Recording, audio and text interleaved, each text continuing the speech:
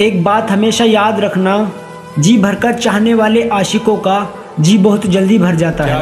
क्या अपना बना के फिर से बेगाना बना दिया। वाह। उसने मुझे अपना बना के फिर से बेगाना बना दिया भर गया दिल और मजबूरी का बहाना बना दिया। वाह वाह वाह। मैंने कहा मेरे बाद भी अगर कोई मिले तुझे तो उसके साथ भी टाइम पास मत करना। अरे वाह अरे वाह। और सुन मैसेज तो दूर अब तो मेरे नाम का नोटिफिकेशन भी नहीं आएगा।